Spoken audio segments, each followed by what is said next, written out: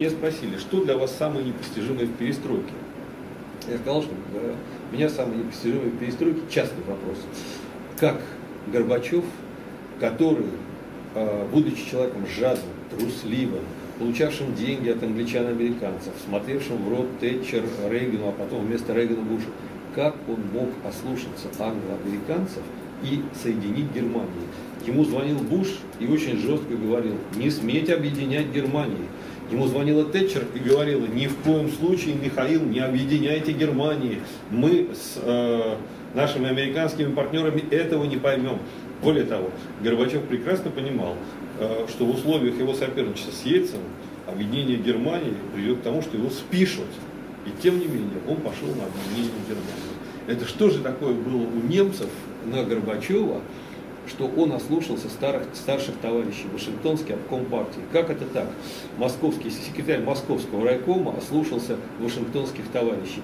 Это означает, что у немцев должно было быть нечто, что просто было убойно, что Горбачев, то есть как вот э, сказка об Аладдине, раб лампы. То есть он выступил по отношению к немцам как раб лампы. Но мы здесь вступаем в такую назыбкую очень почву э, догадок. Единственная догадка, которая есть у меня, дело в том, что у немцев, э, когда они оккупировали Ставропольский и Краснодарский край, вообще она везде существовала, эта программа, но там она активно внедрялась. Это программа, которую реализовывала немская, немецкая эм, полевая фельджандармерия. А у нас почему-то думают, что сказать, есть такой миф, скажем, что якобы, когда наши захватывали в плен армейских офицеров, их брали в плен. А когда брали эсэсовцев, их расстреливали. Эсэсовцев тоже не расстреливали. А вот кого расстреливали, это фельджандар, полевую фельджандармерию. А, что такое полевая фельджандармерия? Это люди, которые ходили в штатском и которые создавали агентурную сеть не на сейчас, на будущее. И работали они, у них была специальная программа с детьми 12-16 лет. И они активно это делали в Ставропольском крае, на оккупированной территории, где как раз жил Михаил Сергеевич Горбачев.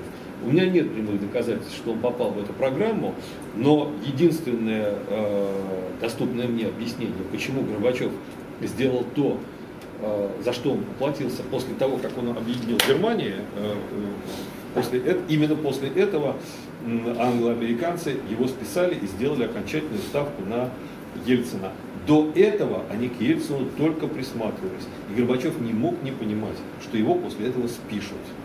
Но тем не менее он это сделал. Вот для меня это одна из э, очень таких серьезных загадок, хотя перестройка к этому не сводится, и она не сводится к Горбачеву. Горбачев Шеварнадзе и Яковлев это были марионетки, которых выдвинул очень мощный э, слой советской номенклатуры ГБ и теневого капитала для того, чтобы оттеснить КПСС от власти. Эти люди не понимали только единственное, что рано или поздно Запад перехватит этот процесс, что и произошло.